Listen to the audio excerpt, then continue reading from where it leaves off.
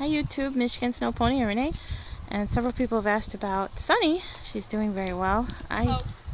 I did something to my hip. So my daughter, I had to twist her arm, of course. She's been exercising Sunni for me and um, doing very well. So, um, so I'll just kind of show you where. Whoops, I went the wrong way. Where she's at. You want to go out in the pasture? Or you want to stay in here? All right. Well, there's all kinds of stuff in here. I can't. Lena, let's go back to the pasture. Because I got that stupid pen right in the middle. So let's go to the pasture. All right. Isn't she precious? She's a good girl. She's so wide. Shh. She's Not- not. not fat, not just wide. Yeah, she's she's big boned. From riding Coda today, she's a big difference. Yeah. Oh, and by the way, I hate riding her bareback because of her, her, her hair is short and it pokes me. Anything else, princess? Is there a pea under your saddle? All right. I'm waiting for you. Keep going because I don't have the wide angle lens on this thing. Sorry, Sunni. I'll just I'll just uh, catch you out there, okay? Okay. And We're just doing walk, trot, and woeing and backing with with her. She rode too much before I got out here. Anyway, we're just doing that with her right now because she was kind of semi laid off for the last couple years. And so she's got to get back in the mindset that she's still a working girl. But she seems to enjoy it. Once in a while she'll have a little tantrum here and there, but overall, she's a pretty good girl. And um, next year we'll probably do try to do some cantering with her. She's got really nice trot under saddle. It's really easy to sit. Do a whoa, honey. Huh? Tell her to whoa. Oh, Good job.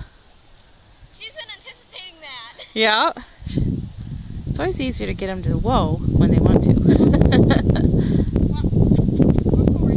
Oh, she, oh, she's been working on her backing up, so she's doing what she just learned or just Not so practiced. ready yet.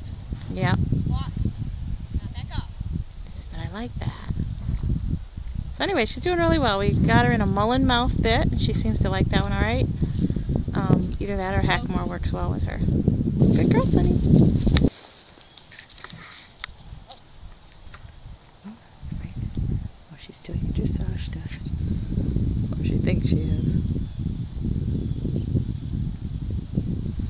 Come on.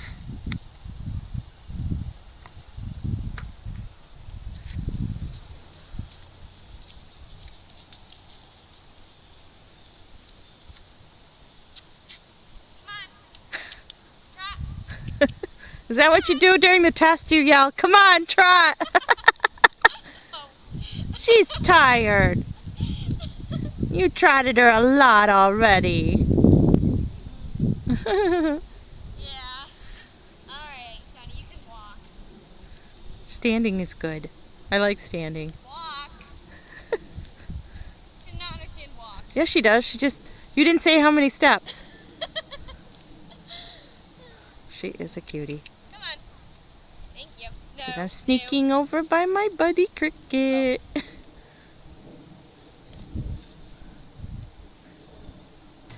I get a lot of questions about these grazing muzzles that we have on our ponies. And this one happens to attach to any halter. It's just the bottom piece. Some of them are all in one. That's like crickets. And what these do is they inhibit the amount of grass that a horse can eat. They can eat through them. There's a hole in the bottom, and someone, we won't mention any names, has widened the gap. But what they eat through is this, and they can get a few blades at a time instead of great big mouthfuls, and it allows them to go out, exercise, be with the herd, and still graze. So they don't feel quite so cheated, shall we say. And this just is a help when you've got a real easy keeper, which many European pony breeds are, and drafts And and ponies cricket. European draft ponies. um, and it just really helps. It gives them more of a normal life. They don't have to be on a dry lot all the time. And um, yet helps you with waistline management. Another thing I want to tell you because of the time of the year is this is when the bots come out, the bot flies, and they lay these little tiny, tiny little eggs. She doesn't have any. She doesn't, darn it. Well, I mean, not darn it, but I wanted to show them. Anyway, Well, I can look we saw. Coda. No, Coda has some? Yeah. Well, we took them Well, oh no, yeah, we did take yeah. them off. Anyway, um, they lay these little tiny eggs, usually on the front legs and up the shoulders. And what happens is the horse will lick them. They'll um, stimulate the eggs to hatch. They'll travel down the horse's throat and lodge in the stomach, where they attach to the stomach lining and suck nutrients away. And they can really do a number on your horse, um, both in the stomach lining and, and as far as um, nutritional needs. Uh, of course, mine could probably have a whole lo- buttload of eggs in their stomach or bot larvae in their stomach and be okay. But the the idea is you want to um, you want to get rid of them before they get there. Yeah, so lucky. they sell these bot blocks, which are little small, um, about the size of your palm, scrapers. And what they are is their grill. No, no, no. This is what you use to. Clean a grill and they just slice off smaller bits of those, package them as bot blocks, and charge you about three times as much.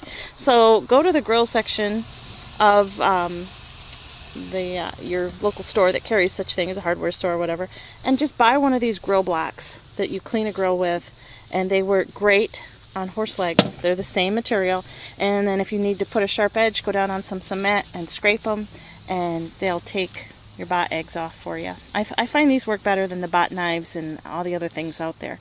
And then, whatever ones you miss that do end up hatching in your horse's stomach, you're going to worm them with an ivermectin product Stay. after the first frost. Stay. And that will take care of them. And um, after the first frost, the bot flies are dead, so then you're pretty good for the winter. I don't know what you do in the southern states when you don't have frosts and stuff, but that's what we do up here. And uh, For all the poor people in the look at you rode her so hard, she's exhausted. I did not. I rode her for about 20 minutes. Top. Poor Sunni, she's abused. She's a good girl. We really like her. We really Although like she her. is mean to my gelding. Well, yeah, Horrible she does. She does not like Dakota for whatever reason, but Hey. she's a good sweet. girl.